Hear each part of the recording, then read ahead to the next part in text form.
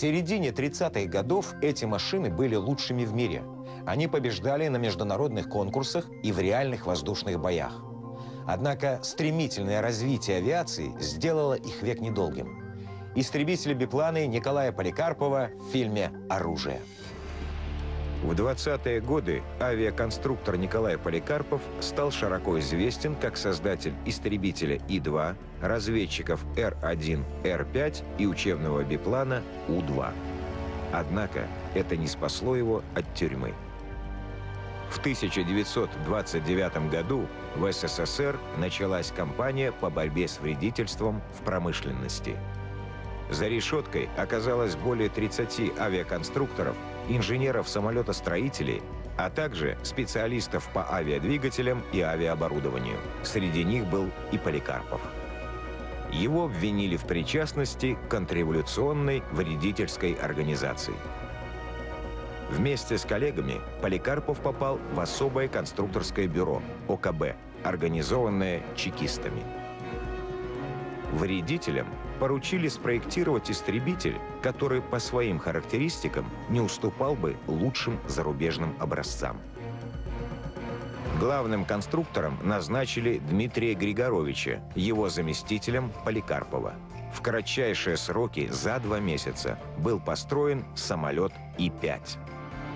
И-5 – истребитель. Длина 6,8 метра. Размах крыльев 9,7 метра. Максимальная взлетная масса – 1335 килограммов. Силовая установка. Двигатель М-22 мощностью 480 лошадиных сил. Максимальная скорость – 252 километра в час. Практический потолок – 7500 метров.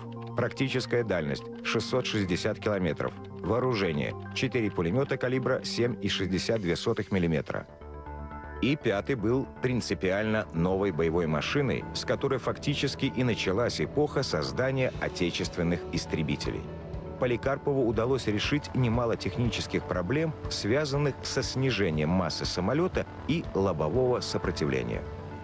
Ко всем своим истребителям Поликарпов будет и в дальнейшем предъявлять два основных требования – маневренность и скорость за счет небольшого веса, максимально сжатого фюзеляжа и маленьких крыльев. Биплан И-5 был одним из самых мощных по вооружению и самых легких в мире истребителей. Его выпустили большой серией – 800 штук, несмотря на то, что все создатели этого самолета по-прежнему считались контрреволюционерами и вредителями. Осужденные конструкторы работали в ангаре, охраняемом чекистами и получившем название «Внутренняя тюрьма». Она находилась на территории авиационного завода номер 39. Самолет И-5 имел рабочий индекс ВТ, означавший «внутренняя тюрьма». Но конструкторам больше нравилась другая расшифровка – «вредители трудящимся». После того, как И-5 успешно прошел все испытания и получил одобрение Сталина, авиаконструкторы были амнистированы. Поликарпов получил от руководства благодарность и целый пакет новых заданий на проектирование сразу нескольких боевых машин. ОКБ переименовали в Центральное конструкторское бюро, ЦКБ, и привлекли для работы вольнонаемных специалистов – Руководителем ЦКБ, состоявшего из шести проектных бригад, назначили Сергея Ильюшина. Бригада Поликарпова разрабатывала истребители. Основная проблема заключалась в том, что в СССР к тому времени еще не успели создать мощные авиадвигатели. А на боевых машинах со слабыми моторами трудно было добиться высокой горизонтальной скорости и одновременно хорошей маневренности – Поэтому Поликарпову в поисках оптимального сочетания скорости и маневренности приходилось параллельно проектировать свои истребители как бипланы, полуторапланы и монопланы. Бипланы были маневреннее, монопланы обладали большей скоростью. Последовательно развивая конструктивную схему И-5, Поликарпов создал истребитель-полутораплан И-15. 23 октября 1933 года первый полет на опытной машине выполнил Валерий Чкалов. Чкалов Валерий Павлович, советский летчик-испытатель, герой Советского Союза. Годы жизни 1904-1938. Родился в рабочей семье. В 1923 году окончил Борисоглебскую военную авиационную школу летчиков. Освоил технику пилотирования нескольких десятков типов самолетов. Принимал участие в испытаниях большинства опытных и экспериментальных машин Николая Поликарпова. Новый истребитель обладал исключительно высокой маневренностью. На выполнение виража уходило всего 8 секунд. Самолет был легким и устойчивым, хорошо управлялся. Истребитель обладал хорошими ремонтными свойствами и живучестью. Машину запустили в серийное производство, не дожидаясь окончания государственных испытаний. И-15. Истребитель. Длина 6,1 метра. Размах крыльев 9,8 метра. Максимальная взлетная масса 1415 килограммов. Силовая установка. Двигатель М-22 мощностью 480 лошадиных сил. Максимальная скорость 350 км в час. Практический потолок 7250 метров. Практическая дальность 500 километров. Вооружение. Два пулемета калибра 7,62 мм. В октябре 1935 года на авиационной выставке в Милане И-15 признали лучшим истребителем мира. Вскоре летчик-испытатель научно-исследовательского института военно-воздушных сил Виктор Евсеев установил на этой машине мировой рекорд высоты – 10 тысяч 85 метров. Это достижение тут же перекрыл Владимир Кокенаки. На облегченном варианте самолета он достиг высоты в 14 575 метров.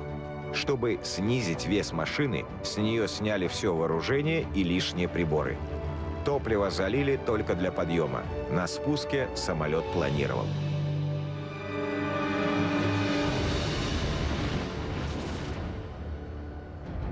И-15 полностью превосходил все известные в мире истребители по маневренности и скороподъемности.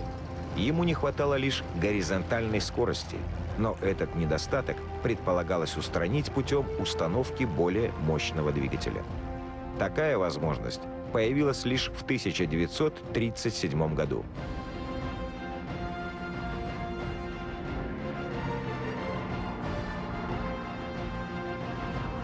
К этому времени на Пермском авиамоторном заводе по американской лицензии освоили выпуск двигателя М-25 мощностью 750 лошадиных сил. Модифицированная машина получила индекс И-15 БИС.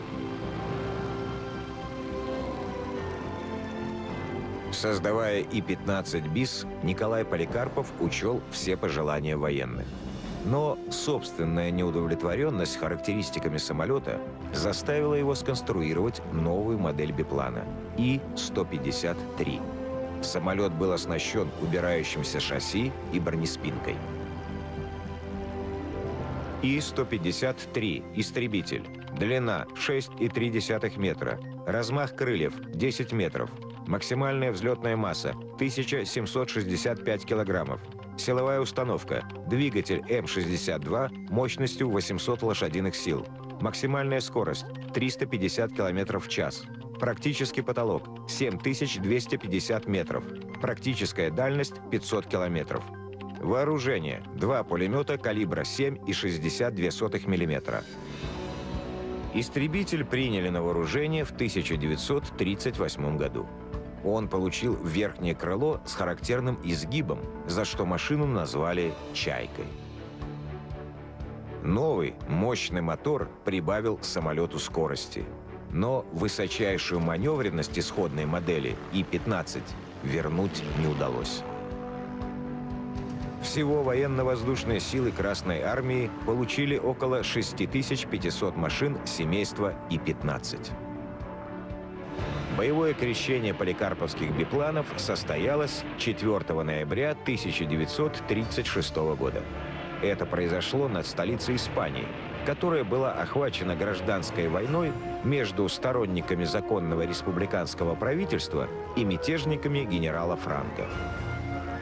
В небе Мадрида советские пилоты-добровольцы вступили в схватку с противником. Результат – два сбитых вражеских самолета –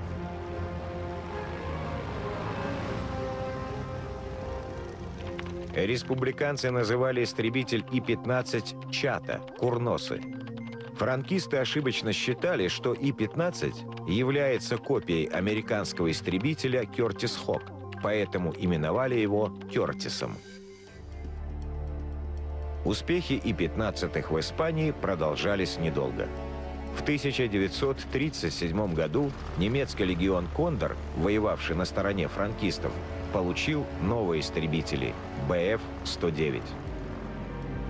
Мессершмитты заметно превосходили советские бипланы в скорости и огневой мощи. Но у него такие были качества пилотажные, что немцы с ним не могли справиться. Как только группа подходит, мессеров, они становятся в круг, закладывают крутой вираж, а он по секундам, всего 8 секунд составляет. Представляете, 8 секунд он, он уже вместе. Точка, 8 секунд он на месте.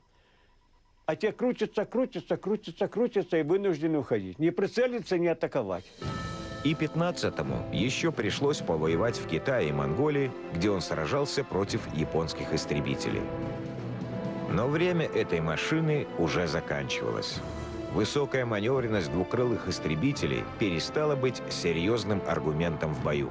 На первый план выходили другие требования к самолетам. Николай Поликарпов хорошо понимал, что главным оружием истребителя становится скорость. Поэтому одновременно с бипланом И-15 он построил знаменитый истребок – моноплан И-16.